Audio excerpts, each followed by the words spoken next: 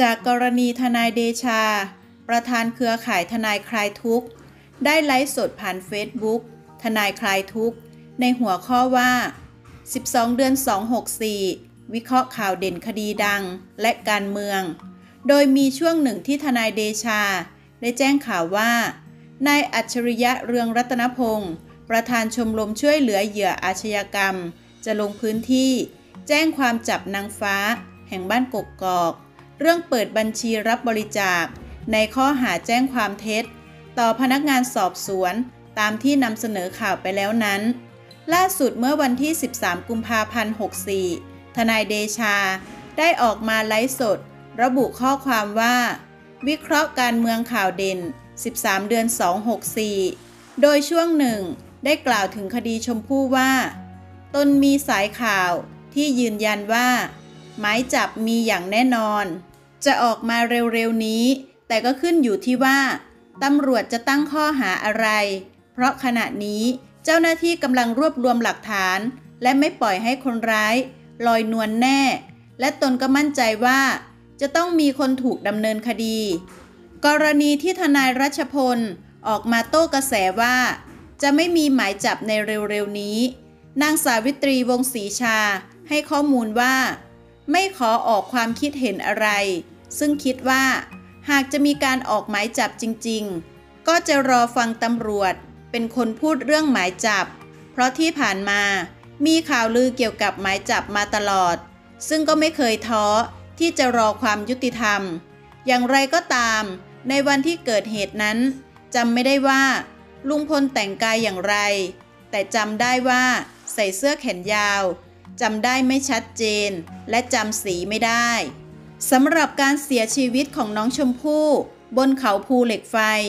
ซึ่งในวันที่พบศพ ตรงกับวันที่ 14 พฤษภาคม 63 เวลา 19 นาฬิกา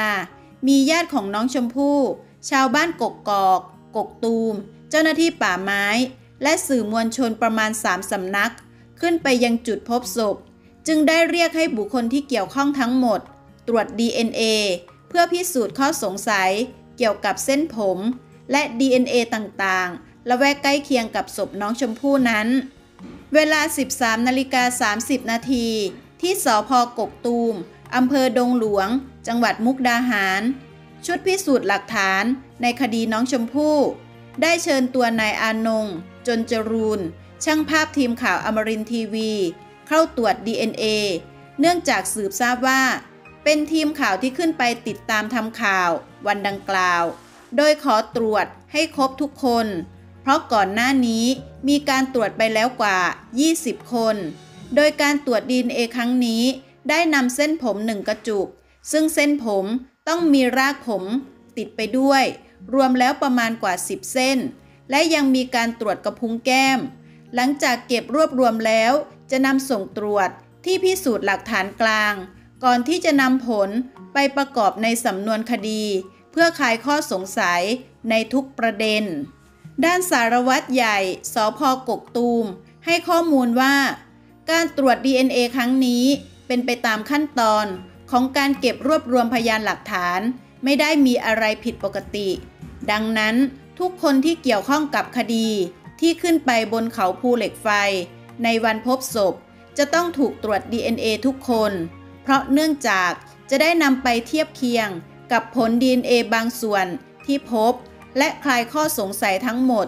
ซึ่งการเรียกตรวจครั้งนี้ก็เพื่อให้ข้อมูล ด้านนิติวิทยาศาสตร์ มีความสมบูรณ์ครบถ้วน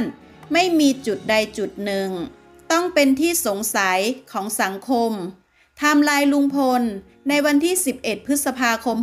63 ตามคำให้การของพยาน เวลา 7.23 ถึง 8.20 น ลุงพลอยู่ที่นาของนายกล่อง กระทั่งเวลา 8.20 ถึง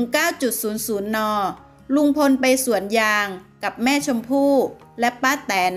จากนั้น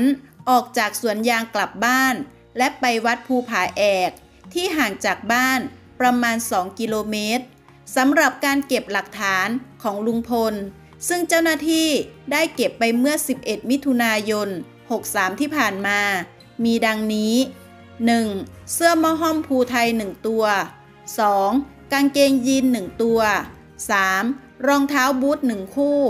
4. รองเท้าหุ้มส้นใส่เดินเขา 1 คู่ 5. กางเกงกีฬาสีขาว 1 ตัว 6. กางเกงกีฬาสีดำหนึ่งตัว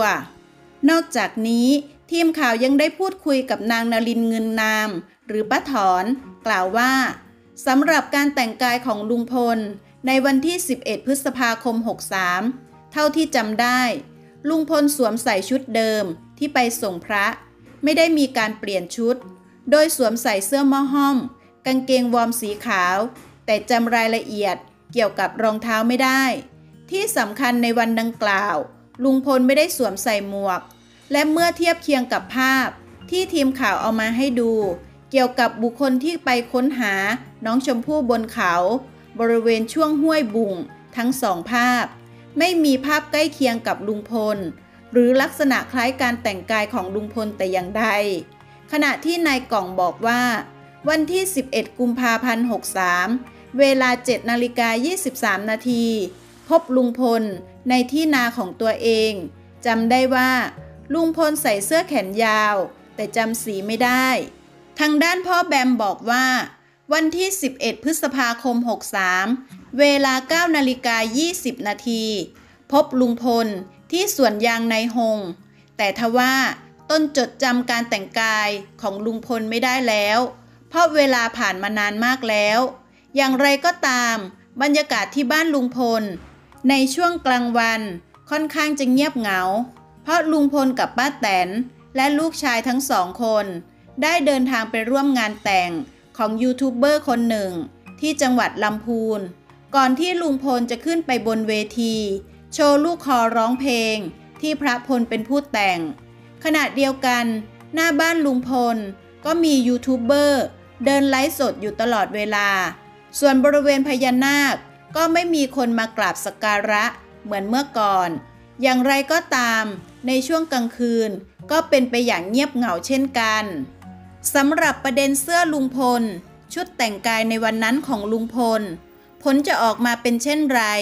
ต้องรอทางเจ้าหน้าที่ตำรวจ ออกมาแถลงการอีกทีนึงนะคะ